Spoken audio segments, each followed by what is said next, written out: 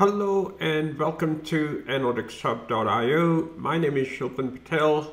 Today we're going to go over COVID-19 Georgia report. And let's face it, the entire world is going through such a dire situation where we all find helpless and locked down in our homes, hoping that this invisible enemy will go away soon. But as I speak, COVID-19 has still dominated entire world. And my heart goes out to those who have lost loved ones fighting with this invisible enemy. And I also deeply appreciate those who are fighting at the front line, being our nurses, doctors, and other service workers who keep working hard every day for all of us. So I'm deeply grateful for their hard work and dedication. So to do our little part in this difficult time, AnalyticsHub.io will host a full day workshop to raise fund for COVID-19 charity and we will donate entire amount to a charity. So if you like what we teach, please stay tuned and support us to help for such a great cause that we all care for. So today I want to walk you through COVID-19 dashboard that I built in Qlik Sense. I'm not going to build it, but I'll walk you through the parts of the dashboard so that you understand how I built it and hopefully it will inspire you to create one on your own.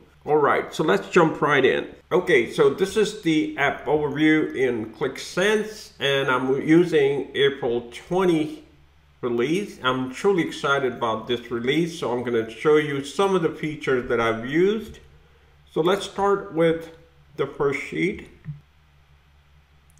So here, of course, the focus is on the map, and I have created several layers and I'm going to show you that. But before we get too deep into this dashboard, let's first look at the source. My data source is from Georgia Department of Health and Human Services. They're updating the site daily and I intend to pull records from their site daily. As of now, I have not automated, but that's my intent. So with that, let's look at the application. So as I said, this is April 20 release. And in this release, they have added button. And button can have actions, can have certain triggers. So I have used buttons to change dimension on the fly. So on the right hand side, I have two pie charts and a bar chart. So when I click on gender, for instance, it shows all three visualizations with the dimension of gender. If I select on age, it is dynamically changing the dimension to age for all three charts. If you notice, it also is changing the title dynamically. So I'm using dollar sign expansion there with a variable, nothing magical there. But I thought this is quite useful feature since now I can use these buttons and triggers to sort of cycle through dimensions since we don't have cyclic dimensions yet in Qlik Sense. And of course I can click on underlying conditions and I can visualize charts for that. Now as far as the map, I have three layers. So let's edit that to see the layers. So the area layer shows Georgia shape.